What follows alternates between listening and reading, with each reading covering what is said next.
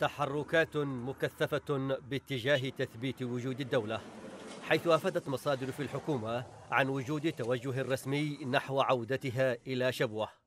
الترتيبات وفق المصادر جارية لجعل شبوة مقرا مؤقتا للحكومة بديلا عن العاصمة المؤقتة عدن التي تسيطر عليها الإمارات. وتشهد عتق عاصمة شبوة منذ فترة نشاطا ملحوظا حيث يعقد فيها مسؤولون عسكريون وحكوميون اجتماعات شبه يومية.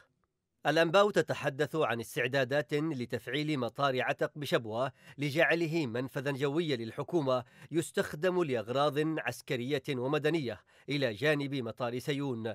بالتوازي مع رغبة الحكومة إغلاق مطار عدن أمام الرحلات الدولية. وتشير مصادر دبلوماسية إلى أن الحكومة طرحت على السعودية تخوفات من أن يصبح مطار عدن منفذا لتمرير إمدادات لوجستية لميليشيا الحوثي في تخادم محتمل بين الانقلابيين في عدن وصنعاء.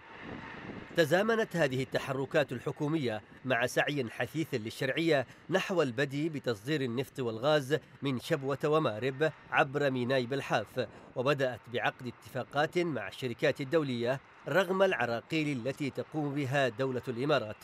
فيما يبدو فإن شبوة تمثل اتجاها إجباريا بالنسبة للحكومة في ظل سيطرة ميليشيا الإمارات على عدن ما فرض تغيرا في معادلة التحالفات حيث تشهد سلطنة عمان ولأول مرة نشاطا ملحوظا لمسؤولين في الشرعية مناهضين للإمارات.